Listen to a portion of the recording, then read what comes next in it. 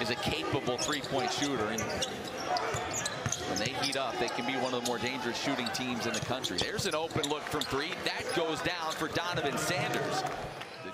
Here's the three from the Delta Devils a moment ago from Sanders. Maybe the smallest guy on the floor just rose up and grabbed that rebound. Great positional defense on the weak side by Metheny. And now takes it to the rack. Able to finish over the bigger Gibson. Sanders guarded by Porter. Calling for the screen. He gets it. Trying to lob down low. Pump fake, bucket, and just does beat the shot clock buzzer, although Ritchie McKay is asking, this is a team that'll play a lot of guys, and especially without their star RaeQuan Brown tonight, they're going to need some other folks to step up. How about that three ball? They are uh, well above their average thus far. Cleveland takes it in strong, couldn't finish. Ball tapped out to Venzant. Gets it back on the wing, his turn to drive. Takes it all the way to the rim for two. Gets it to Metheny. He's going to drive baseline. Gets that one to the corner. Porter's turn to drive. Leave it for Venzant. Falling away. Got a little bump off balance. Didn't matter. He lays it in for his second bucket of the night. Liberty pushes that lead to 11. Baseline drive and the lay. And Donovan Sanders, he's got seven points to lead the way for Mississippi Valley State. Porter gives it to Rode. Kind of a, struggle shooting the ball for Kyle Rode in the first half. Good feed, and the lay on the other side of the rim for Colin Porter.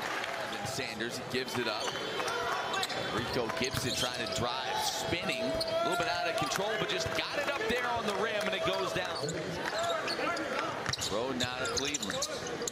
Metheny had the hot hand in the first half. Driving and gets it to go. In terms of handling the basketball like this, we saw at times against that better competition this past weekend, they made life miserable. There's Joseph Venzant. Somehow the ball ends up in his hands. He rises up and hammers it home. Pretty basketball game to this point.